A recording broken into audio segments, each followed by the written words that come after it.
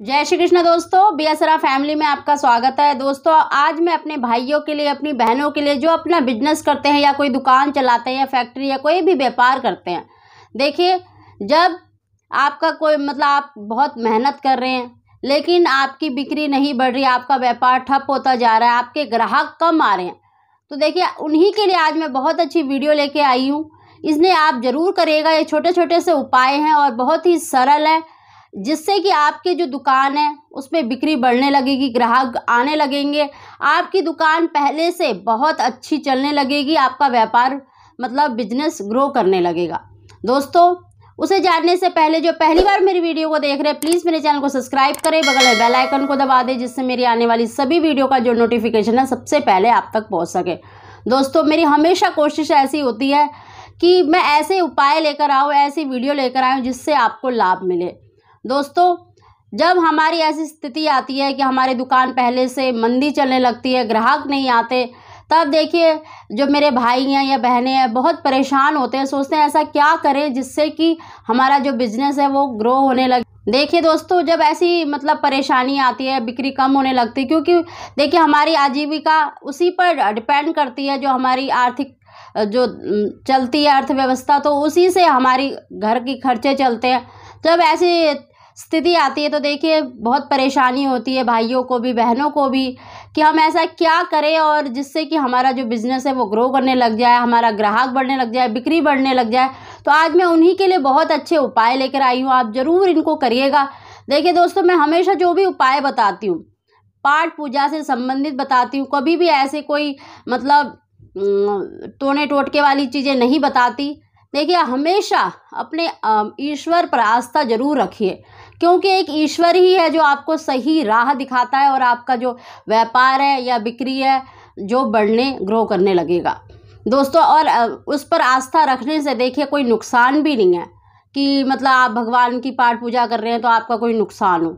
तो आप ज़रूर इन उपायों को करिए। देखिए, सबसे पहले स्टार्टिंग से करेंगे और मतलब लास्ट तक आप ज़रूर इस वीडियो को देखिएगा, आपको निश्चित ही लाभ मिलेगा। बहुत से भाई ये गलतियाँ भी करते हैं, या बहनें हैं तो वो भी गलती करती होंगी। तो अगर कोई ही ऐसी कोई गलती कर रहे हैं तो उनको ज़रूर मतलब दोहराइए मत। देखिए, सबसे पहले शुरू से शुरू करते हैं कि देखिए, जब आप दुकान खोल रहे हैं, अपना शटर ओपन कर रहे हैं तो आप देखिए, सबसे पहले माँ लक्ष्मी का ध्यान ज़रूर करा करें, उनका स्मरण करा करें। ओम महालक्ष्मी नमैया जय माँ लक्ष्मी कहते हुए अपनी दुकान का शटर खोलना चाहिए। आप कोशिश करें कि माँ लक्ष्मी का ध्यान करने के बाद ही आप अपना ताला खोलें, जिससे कि आपके जो दुकान में माँ लक्ष्मी का प्रवेश पहले हो जाए, आपसे पहले। तो दोस्तों, देखिए, सबसे बड़ी गलती जो बहुत से भाई करते हैं, मैंने देखा भी है, कि जब वो शटर का ताला खोलते हैं तो शटर में ही जो ताला होता है, उसको उसी में लॉक कर देते हैं और चाबी मतलब काउंटर के अंदर जहाँ पैसे रखे जाते हैं, वहाँ चाबी को रख देते हैं। तो सबसे बड़ी गलती यही है कि आपको देखिए, आपने शटर खोला और फिर आपने ताला लगा दिया। आपने वहीं पर अपना व्यापार को पहले ही बंद कर दिया, ताला लगा दिया। तो कभी भी आप जब ताला खोलते हैं तो उसको अपनी दुकान में देखिए ताला और चाबी को आपको अलग अलग रखना है और अपने काउंटर पे कभी नहीं रखना चाहिए। क्योंकि जो लोहा होता है वो शनि का कारक होता है। जब आपने अपने काउंटर में सबसे पहले शनि को बिठा लिया तो फिर आपकी बिक्री कहाँ से बढ़ेगी? तो आप मतलब दुकान में कहीं पर भी ताला और चाबी को अलग अलग रखिए, कहीं पर मतलब ऐसे कील बना लीजिए जहाँ पर आप नित्य मतलब चाबी रखें तो आपको डेली वहाँ पर मिल जाए मिल जाएगी। तो ऐसे रखना है, आपको काउंटर के अंदर चाबी नहीं रखनी है। तो आप अलग अलग रखें, एक जगह बना लें। ये, और उसके बाद देखिए, आप साफ़ सफ़ाई करिए दुकान की, क्योंकि देखिए, माँ लक्ष्मी वहीं वास करती है जहाँ स्वच्छता होती है और पवित्रता होती है।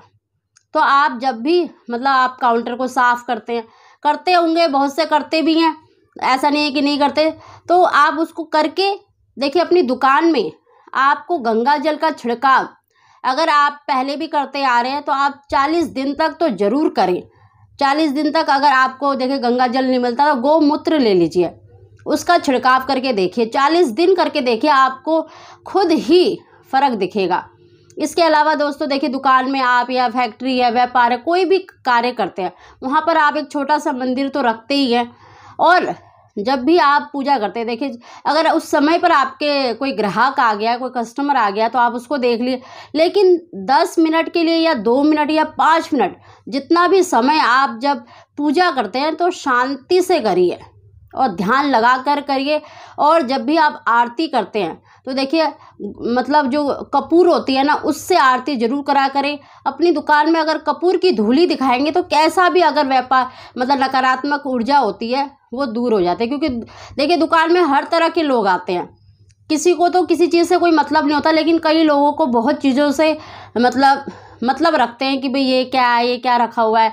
मतलब देखिए, कई बार टोक लग जाती है, नज़र दोष हो जाता है, कई बार नकारात्मक नेगेटिविटी आपकी दुकान में इतनी बढ़ जाती है, क्योंकि तरह तरह के लोग आते तरह तरह से घूम फिर कर देखिए, चप्पलों से आते हैं तो बहुत नेगेटिविटी आ जाती है और कई बार किसी की नज़र या फिर मतलब आपकी जो दुकान है, वो बंध जाती है। तो बंद ही दुकान के खोलने के भी मैं उपाय बता रही हूँ तो आप इनको ज़रूर करा करें। अगर आप आरती करते दीपक जलाते हैं तो एक कपूर नित्य प्रति देखिए, चालीस दिन तक ज़रूर करके देखिए, आपको हंड्रेड परसेंट लाभ मिलेगा।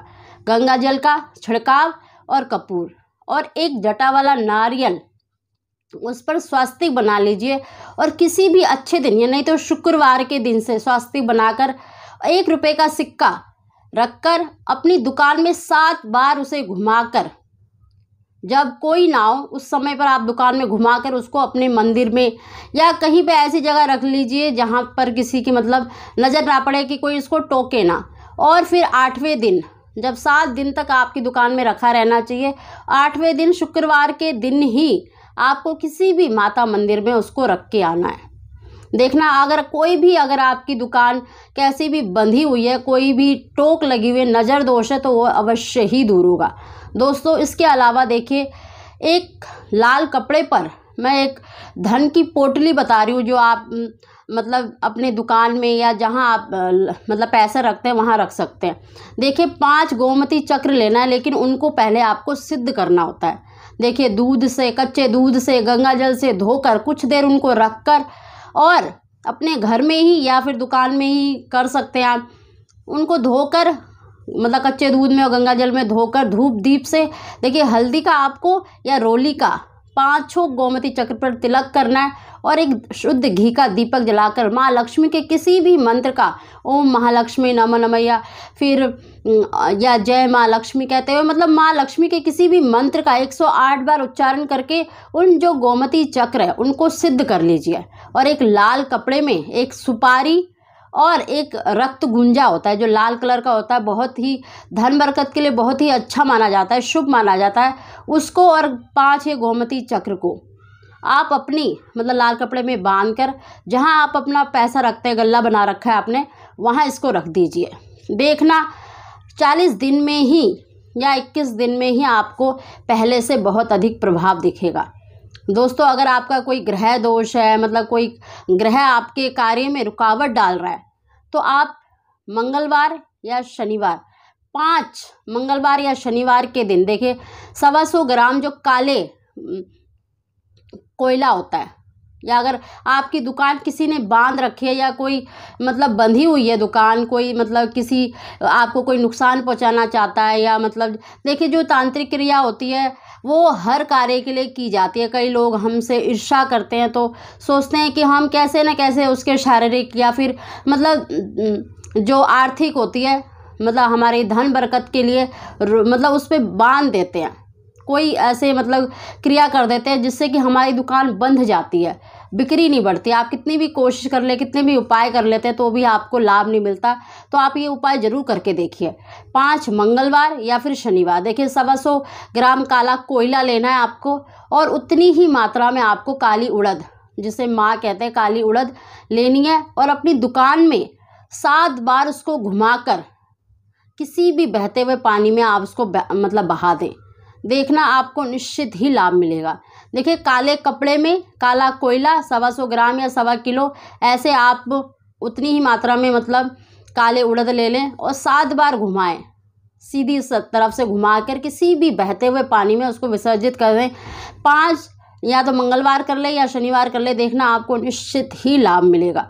दोस्तों, मैंने आज जो आपको उपाय बताए ना, वो देखिए, अगर आपकी दुकान बंधी हुई है तब भी आ, मतलब खुल जाएगी और व्यापार बढ़ने लगेगा।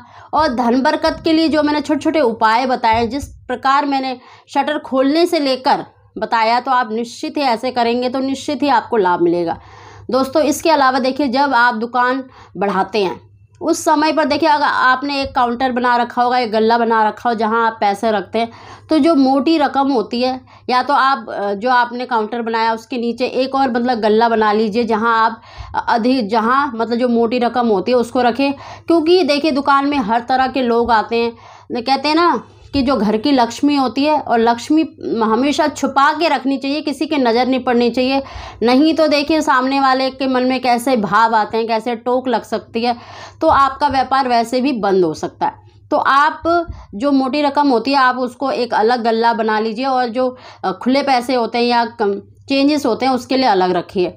तो जब भी आप दुकान बढ़ाते हैं तो जहाँ आप मेन अपनी मतलब जो पूंजी रखते हैं जहाँ पर आपने मोटी रकम रखी है, उसको खोल कर माँ लक्ष्मी का धन्यवाद अवश्य किया करें कि माँ लक्ष्मी, आज मेरा व्यापार बहुत अच्छा चला है।